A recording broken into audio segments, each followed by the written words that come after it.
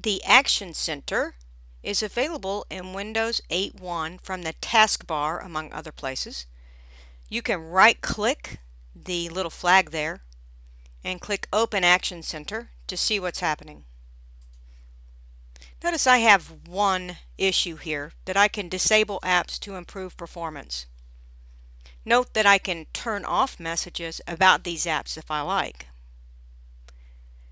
I can also opt to change Action Center settings so that I make it a little less chatty. Maybe I don't want to hear about spyware and unwanted software protection because maybe I use a third-party antivirus, anti-malware that's not recognized. Here's another virus protection.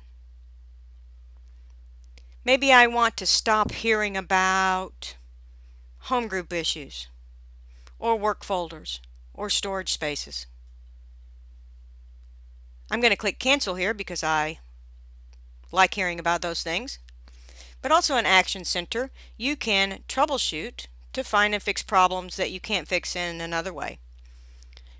You can run programs made for previous versions of Windows. So if you have an old program, it doesn't run in Windows 8.1 like it should, you can click this work through this wizard to find the program and say you want to run it in uh, you know Windows XP uh, mode or maybe it was created for Windows Vista. I can pick one of these from the list and then choose how I want to how I want it to uh, run. I can configure a device, use a printer, I can troubleshoot audio playback, I can troubleshoot a connection to the internet. But mostly, the Action Center's main purpose is to keep you informed of any problems.